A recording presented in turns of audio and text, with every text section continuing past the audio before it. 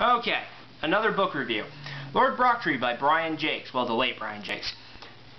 Basically, is the oldest tale of Redwall canonically. It tells of the founding of the Long Patrol, Lord Brocktree's coming to the mountain of Salamandastron, his fight against the Wildcat Ungatt Trunn, and basically it lays down the groundwork for what is to come. One of the the, way he wrote, I think I've mentioned this before in probably Rackety Tam, is he kind of has a lull between the books. Some books are kind of bland. There's like three or four books that'll be like three books that'll be really bland, and then it'll pick up and then it'll drop again. That was kind of the Redwall saga for me, and this is one of the better ones early on. Like this, Martin the Warrior and Mossflower are good, and then Legend of Luke's okay, and then from there on it just kind of goes down, picks back up around the Bellmaker uh, drops back down. You, you, I could go into it more, but I don't really want to. As the oldest canonical, I figured I'd do this first. Well, next. I already did Rackety Tam because that was my first real book. That was the first real book I ever read. So now I'm gonna, when with the Redwall Saga, I'm gonna do the rest of them canonically, and this is what I'm gonna do now.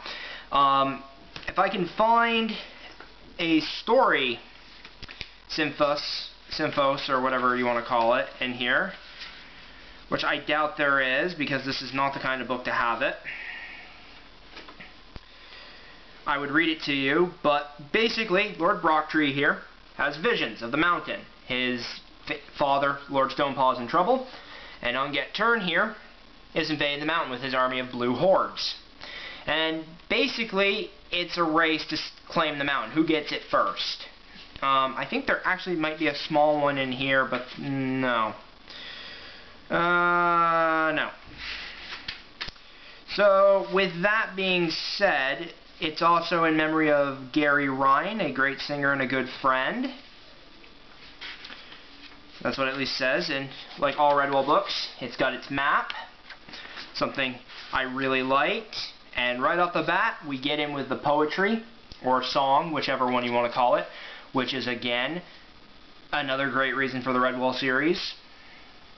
I am the teller of tales, gaze into the fire with me, for I know of the Badger Lords in their mountain by the sea. Tis of a fearsome warrior full of fate and destiny, who followed dreams along strange paths unknown to such as we. This Badger Lord was fearless, as all who followed him knew, and the hare he befriended, why she was as young as you, but no less bold or courageous, full of valor and strong of heart. I, young uns like you, true good and true, may stand to take their part. So here is my story, may it bring some smiles, and a tear or so. It happened once upon a time, far away and long ago, outside the winter's night wind knee, knees and wails. Come listen to me, the teller of tales. You know, this book did make me laugh, but I don't think it ever made me cry. It made me sad, because, like with all good Redwall books, good characters who were built up do die.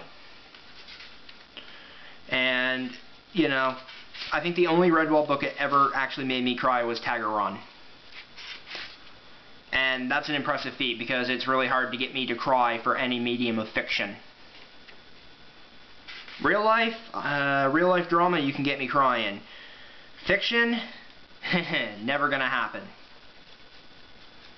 So, yeah, back to Lord Brocktree. You know, I'm just kind of looking through it smelling it. This is an old...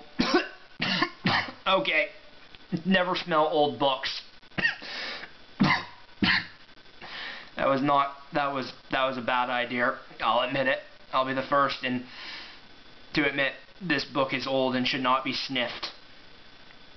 Now, I, I guess I'll just try and find you something to read to uh, yeah, uh, moving on.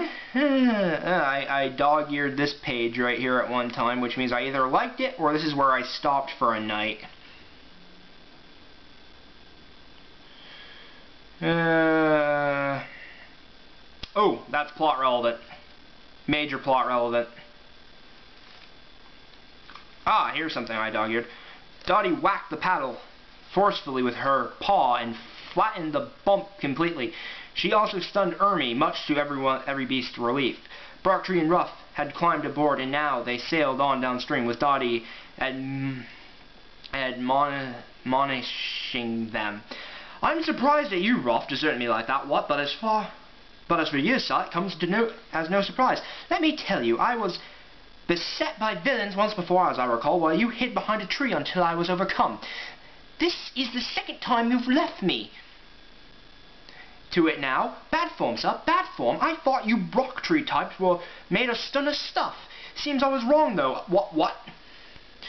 Brocktree dangled his foot in the stream flow, nodding. I can understand how you feel, miss, but we had our reasons. We didn't want to confront them until you learned a little object lessons, which you did wonderfully.